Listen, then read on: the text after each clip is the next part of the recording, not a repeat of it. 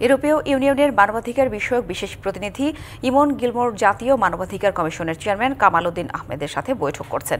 এ বিষয়ে আরও জানাতে রাজধানীর কারণ বাজারে মানবাধিকার কমিশনের কার্যালয় থেকে যোগ দিচ্ছেন সহকর্মী ঈশা জাহান উর্মি, সরাসরি চলে যাচ্ছে তার কাছে।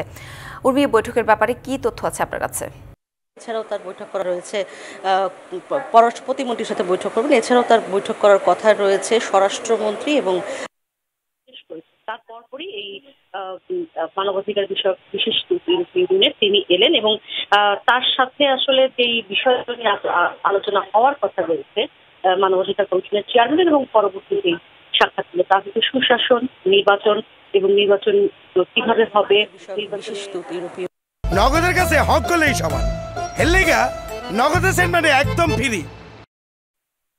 এই সব কিছু নিয়ে কিন্তু আসলে আলোচনা হবে। এছাড়া আহ, রোহিঙ্গা একটি বড় ইস্যু যেটি তাদের আগ্রহের বিষয় এবং সাতাশ তারিখে তার যাবার কথা রয়েছে রোহিঙ্গা ক্যাম্পে তিনি সেখানে দুদিন থাকবেন। ফলে রোহিঙ্গা ইস্যুটিও কিন্তু একটি বড় ইস্যু তাদের কাছে।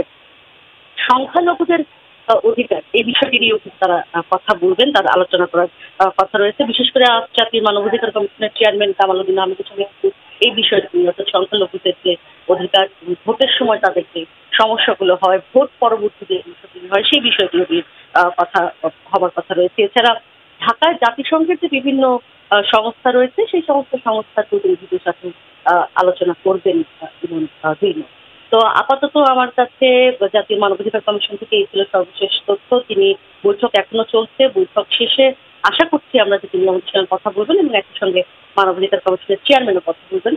পরবর্তীতে তার বুঝ করার কথা রয়েছে পররাষ্ট্র প্রতিনিধির সাথে আরও বিস্তারিত পরবর্তী সাথে। ধন্যবাদ উর্মি। নগদ আসার পরে এখন দিনে বাঁচে আশি টাকা। দুই বছরে সাতান্ন হাজার ছয়শো টাকা।